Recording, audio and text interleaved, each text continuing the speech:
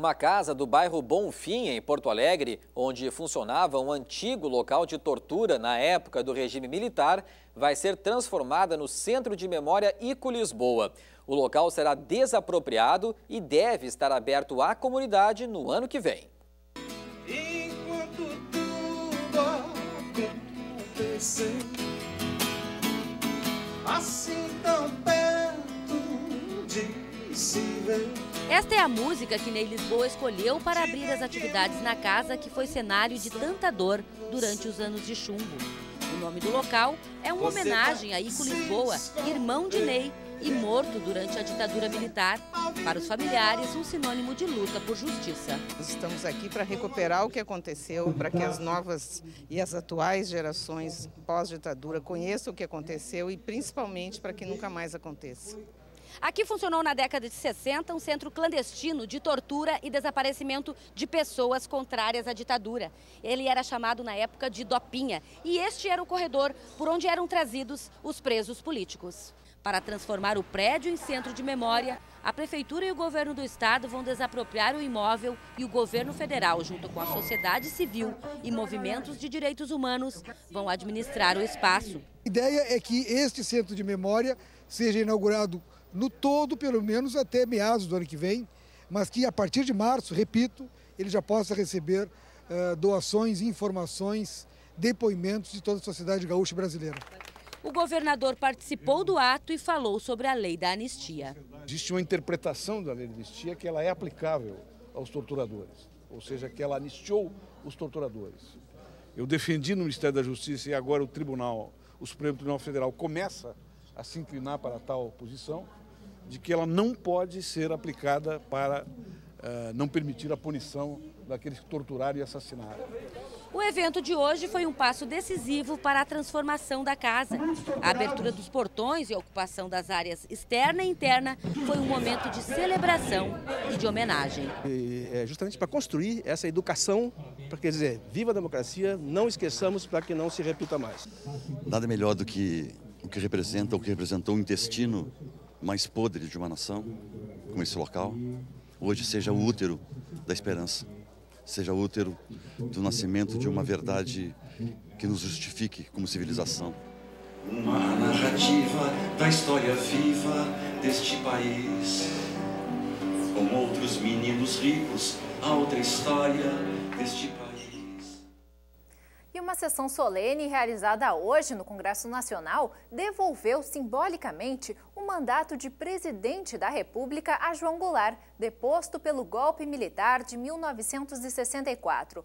Um projeto do senador gaúcho Pedro Simon, aprovado pelo parlamento no mês passado, anulou a sessão do dia 2 de abril daquele ano, que declarou vaga a cadeira presidencial. E, na época, a decisão foi tomada sob a alegação de que João Goulart havia fugido do país. No entanto, segundo Pedro Simon, que estava na companhia de Jango em Porto Alegre na data de sua deposição, o ato do Congresso foi ilegal porque o presidente se encontrava em solo brasileiro. E nos meus oitenta e tantos anos, eu tenho diante de mim uma realidade de que essa história que nós vamos analisar e viver aqui, eu participei de todos os seus passos. Fui testemunha ocular de todos eles. E Deus me permitiu de assistir isso de hoje, que eu nunca imaginava que haveria de acontecer. A Fundação Piratini está entre as instituições que se mobilizam para a votação de projetos na Assembleia Legislativa antes do final do ano. A proposta que cria o plano de carreira dos funcionários da TVE e da FM Cultura, necessário para a realização de concurso público para as duas emissoras, depende de uma sessão extraordinária dos deputados. Os sindicatos, os jornalistas e dos radialistas conversaram com os funcionários da Fundação. A aprovação do projeto é um pré-requisito para a realização de um concurso público para preencher as vagas para diversas funções, tanto na rádio quanto na TV. Em maio do próximo ano, vence o contrato temporário de 59 profissionais que foram contratados emergencialmente. A expectativa é de que o projeto entre em votação na sessão extraordinária da Assembleia, marcada para o dia 26 de dezembro.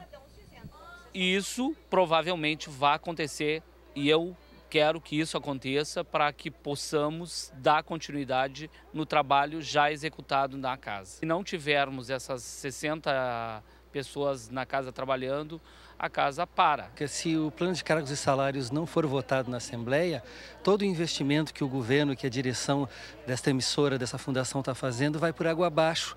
Ou seja, não vai ter reposição de funcionários uh, e todo o investimento não vai ser utilizado, porque efetivamente o grande avanço tecnológico vai se dar a partir da construção de uma grande equipe que vai poder construir um, uma, nova, uma nova atividade profissional, uma nova maneira de produzir a televisão.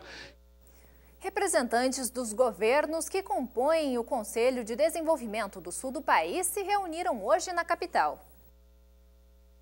A reunião do CODESUL, que contou com representantes dos quatro estados, Mato Grosso do Sul, Santa Catarina, Paraná e Rio Grande do Sul, foi conduzida pelo governador Tarso Genro no Palácio Peratini. Na pauta, a reativação da Sudesul, Superintendência de Desenvolvimento do Extremo Sul, extinta no início dos anos 90. Através da Sudesul, os governadores pretendem criar um fundo para investimento em infraestrutura.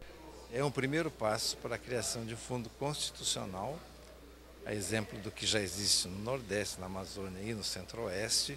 É a única região que não possui ainda um fundo constitucional, a região Sul. O que nós decidimos, é, os governadores decidiram, é apoiar o estudo técnico elaborado pelo BRDE, onde se colocam vários condicionantes para que esse fundo possa ser é, criado. Na reunião, foi aprovada uma resolução que deve ser entregue por Tarso Genro à presidente Dilma Rousseff na próxima sexta-feira em Porto Alegre. Há uma consciência muito grande dos senhores governadores de nós também entrarmos com uma pauta junto ao governo federal, buscando recuperarmos é, aquilo que há muitos anos já existiu na região sul, que é um fundo e, uma, e um órgão de apoio aos programas de desenvolvimento. Veja depois do intervalo. Direto de Capão da Canoa, informações sobre o reforço do policiamento e destinação do salva-vidas durante o verão.